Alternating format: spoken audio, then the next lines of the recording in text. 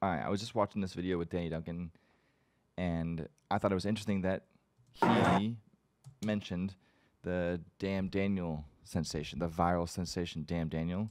Pretty cool. Um, I don't know who knows who that is, but um, for those of you that let's see, let's do Damn Daniel. For those that for those that don't know who this is, I'll show you real quick. Damn, Daniel. Damn, Daniel. Damn, Daniel. Damn, Daniel.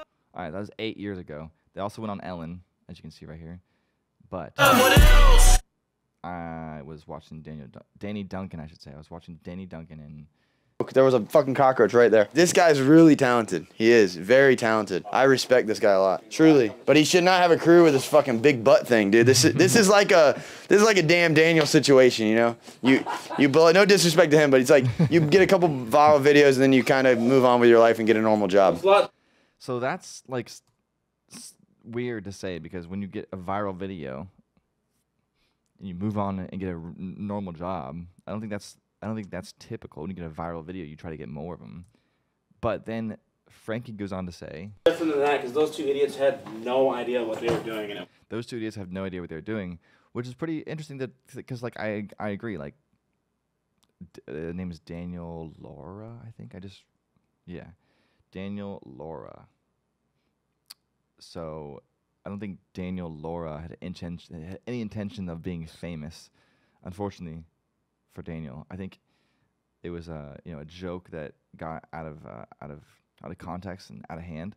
Um, but That's what I'm saying. That's what I mean. You're smart. I tried hitting them up. I was gonna try to weren't help. calculated about it. They're not at all. But that they happened on accident. You know, yours was your, No, yours yes, was like this was calculated, intentional. This, see all this? This is premeditated, okay?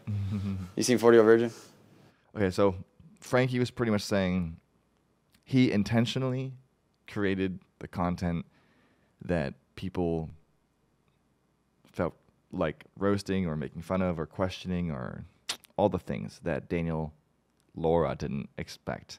Um, he said it was calculated and intentional, which means that he intentionally created these videos for people to like send it around the world and question him and that's pretty much how you go viral you make something that's like questioned or what's the better word? I don't know. I don't know. I'm not really sure how to go viral but frankie obviously knew how. He did it on intentional intentionally. And then um danny is like you know you shouldn't have a whole career from this butt thing because it's you know you go viral and you move on. And then Frankie is pretty much saying like I didn't move on because I intentionally went viral for this butt thing, and now I'm making more of it because this is what people are coming to my channel for. I think. Again, I don't know. I don't know how to go viral, so I just thought it was interesting. okay, cool. Thanks for watching. Peace out.